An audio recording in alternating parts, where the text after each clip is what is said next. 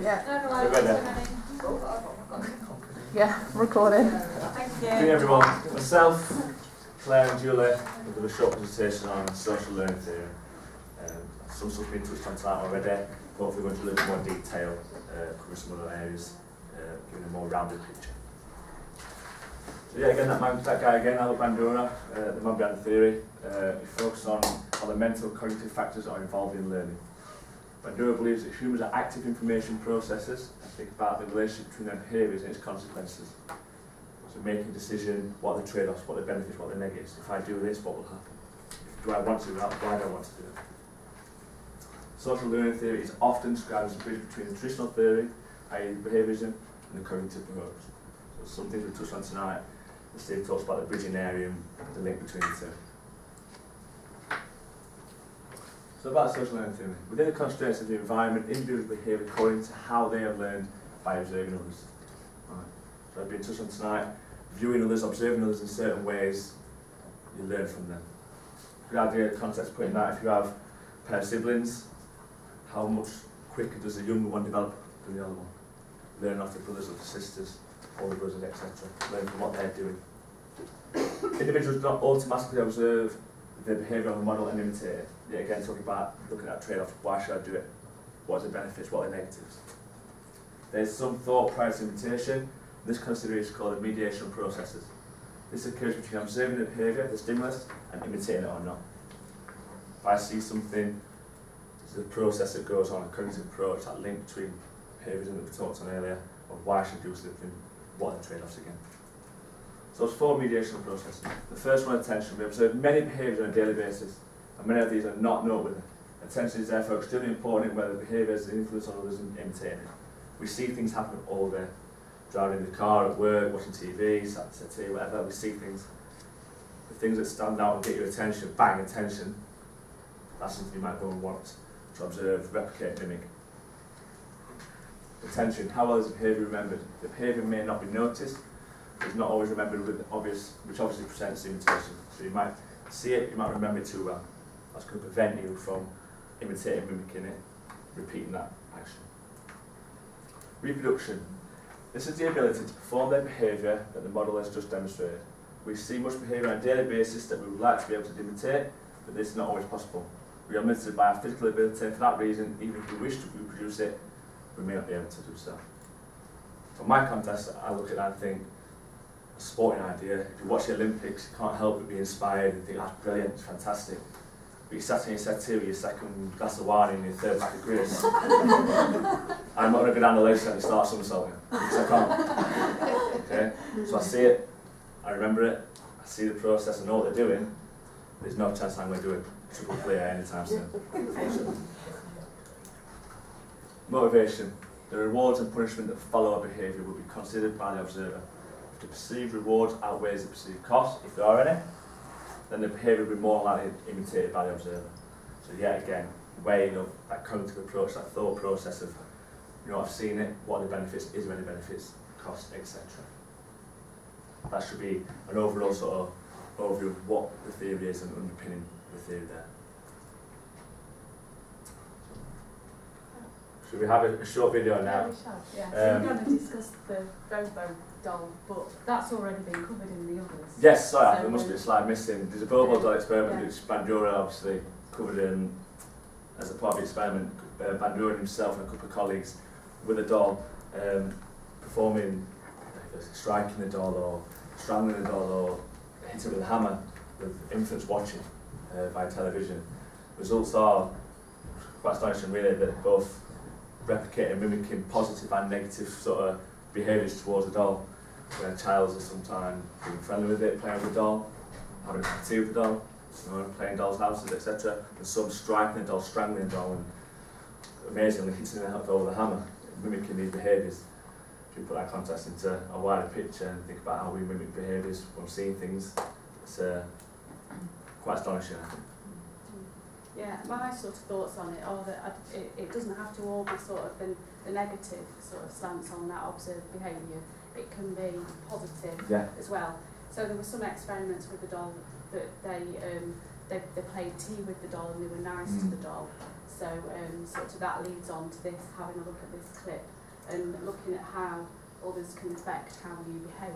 So I'm just going to let some people come in that have got sort of shut out because we've started.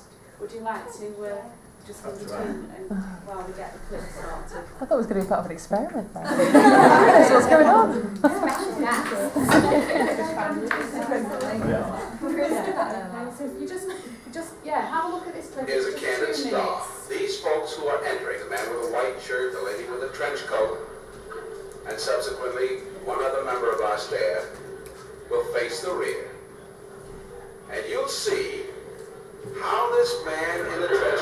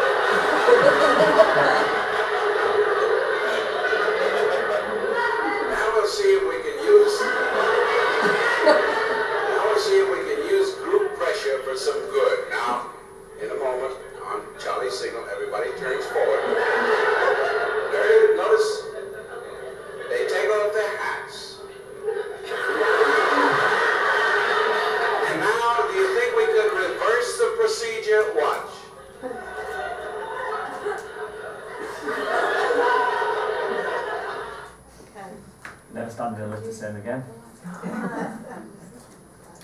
Okay, so I hope you all enjoyed that. Had any of you had a chance to watch it? Because this is the week that Yeah. we sort of missed, so we were sort of gambling on that not many, um, some of you wouldn't have seen it before. And some, have any of you, had any of you seen it? No. That's good. Okay.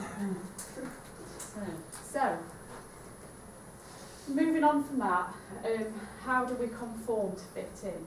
So, um, conformity, it's a type of um, social influence involving change or belief um, or behaviour in order to fit in with a group, as you saw on the clip.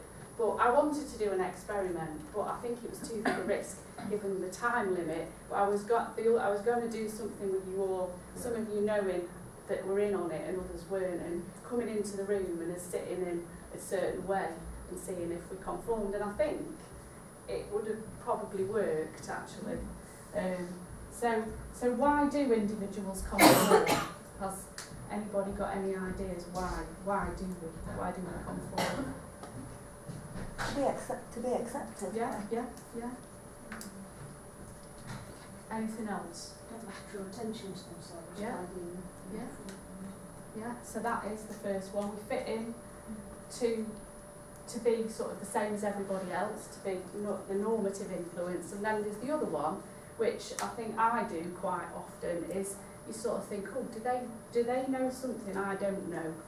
Um, you know, why are they going in that, that direction? Why are they sort of doing that in that way? Is it better than what I know? So um, that is that they believe they believe the group is better, and that's the in, in, informal, informational influence in that. So that's just the slide to sort of bring it all together. okay, so examples of social learning, just to think about it in sort of bigger society. In modern society, where could behaviours be learned using social learning theory. So just have a minute, if you just take a minute on your tables to have a think about, have a think about where we learn behaviours um, and we'll walk round and um, just see how we're getting on.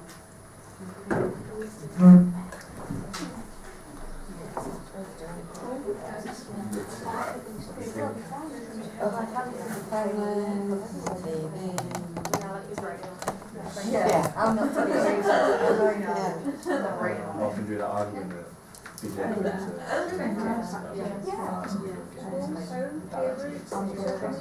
Yeah,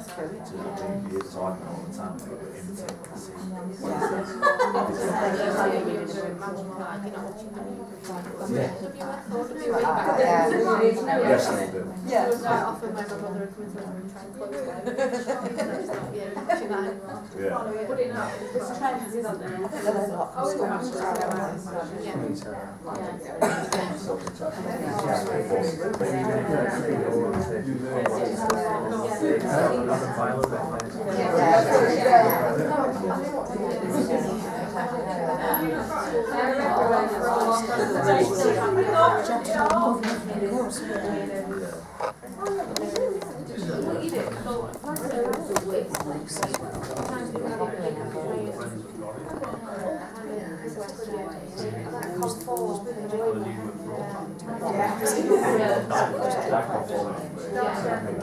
yeah. Back.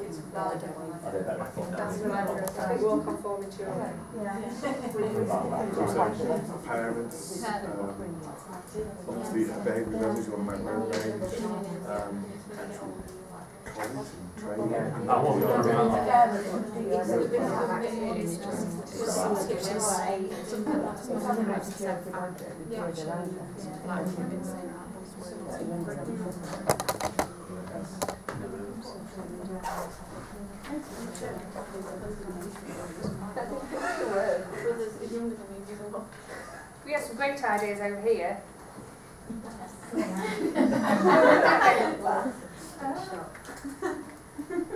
Ideas of conforming. Yeah, what we? What, can we see? Well, we talked about food. Um, friends. So it's sort of like a social aspect, being out with your friends, sort of if one person decides you're gonna have fish and chips, that's it, everyone's having the same thing. Yeah. yeah. Even if you don't really fancy it. So not anything That back intellectual. Yeah.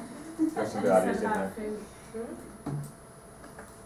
Clare, got some good ideas? Uh, yeah, we were saying obviously about, about a lot of behaviours that are learned through school.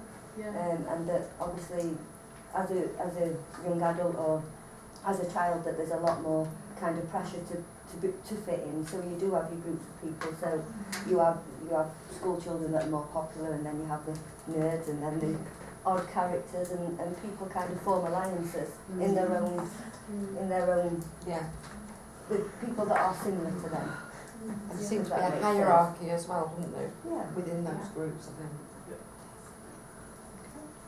So that's, that's really, so we've had some really good examples. So we've got, you all said, t- you said TV, so it's video games, social media, um, and you've been thinking of those other examples as well. We, we sort of even got fidget spinners.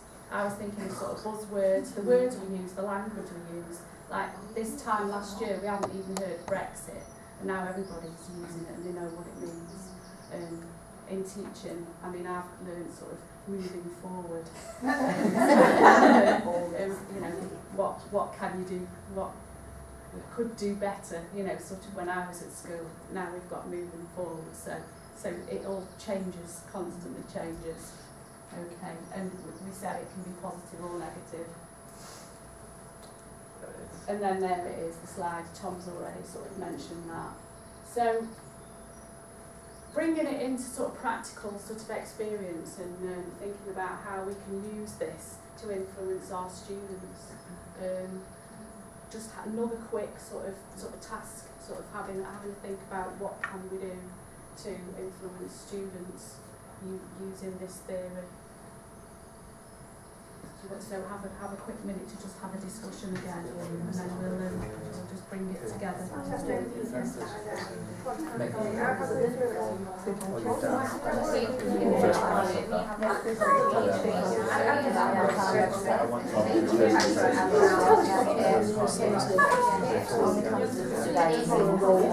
Mark won't come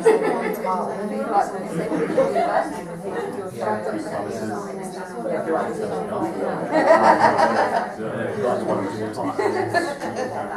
Don't do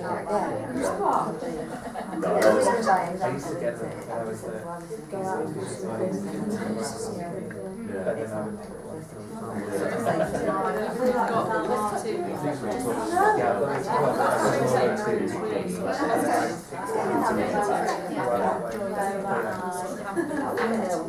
Yeah, definitely, it's that individual relationship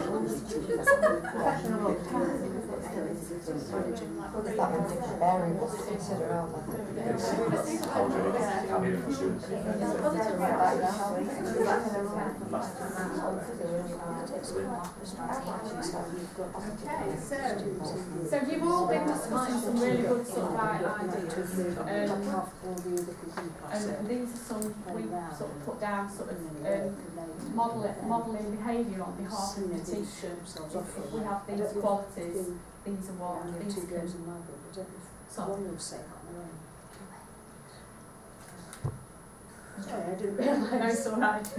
I, I didn't realise you were still talking. So, um, yeah, so we were talking about um, teachers sort of behave, um, modelling behaviour um, and influencing the students. Um, if, if we have these qualities, then it, we, the students hopefully will model our behaviour. Um, and, and it's also sort of links into leadership and business as well. Okay, so taking responsibility is the last one. So, um, then, then we go on to Clare's section. I just put up on the board as well, um, what we here? Yeah, no, no problem. Which one are we at? It's that one, yeah. So I was thinking more about observational learning. So when we are doing our jobs and teaching our students, we're modelling what we expect them to see and we're doing what we want them to do. So I've got a little bit of a task for you all that's on your table.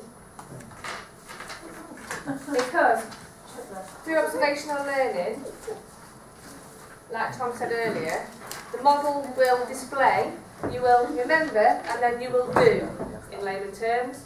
So, the task in the middle of your table, we've got some signs. So I'm going to sign and do some Makaton signs with you. And from watching me as the model, then you're going to do and retain, and then you're going to then show me that you've done it. So it's again, observational learning. Are we ready? Yeah. Yay! Happy! So you're seeing, you're watching, you're remembering, you're doing. Happy towards you. Happy. Happy. Happy. Stroking a cat. Let's think we're happy. Happy. Cross. Cross. Bringing them up, you cross. So remember all these. The next one, you're sad. Each time I'm doing one, you'll remember them, you'll store it, and you'll think about it, and you'll be able to remember me watching, watching me doing it. Sad. Safe. Keeping you safe. Are we all safe? Are we all happy? Not sad. Surprised. We're quite shocked and surprised. so you remember there's a model. And then we are excited. Okay? Clare, come on, show me what sad is. you've watched the model, you've remembered, and then you have then produced and performed. Thank you. So by watching people, we learn, which is evident in everything we do and how we teach our students. So a few examples are the nursing background. You watch, you learn, you do. Again, teaching background. You watch, you learn, you do. And again, the sporting background of Tom. You watch, you learn, repetition, you do, observe, done. Finished.